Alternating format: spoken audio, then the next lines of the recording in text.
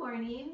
Hey everyone, Sarah Johns here, and welcome to A Day in My Life.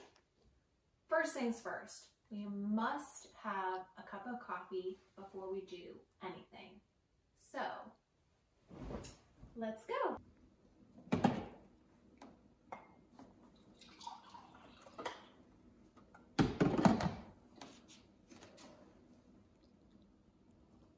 How's your coffee, Mom? Good. We can start our day now. Yeah.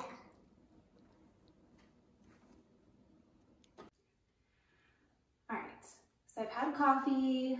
It's time to brush my teeth and get ready for the day.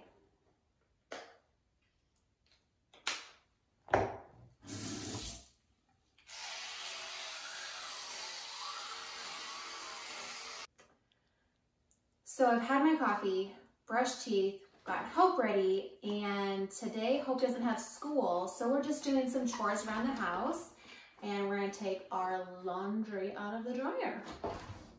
Let's All do right. it. Let's, shall we?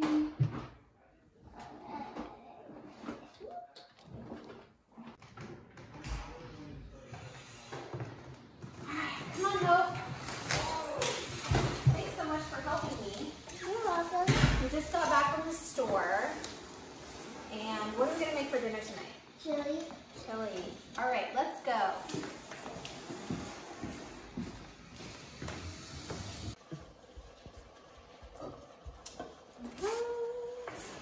to put in our onion and green pepper. Bring it all together.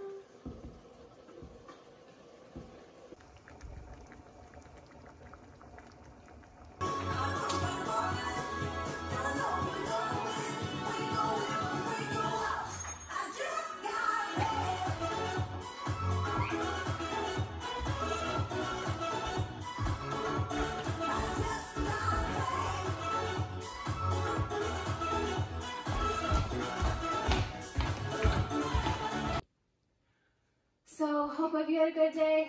Yeah. I've had a good day. I'm getting pretty tired. Are you getting tired, Scarlett? Are you getting tired, Scarlett? It's time for bed, everyone. Thanks for joining us in Yeah. a day in my life.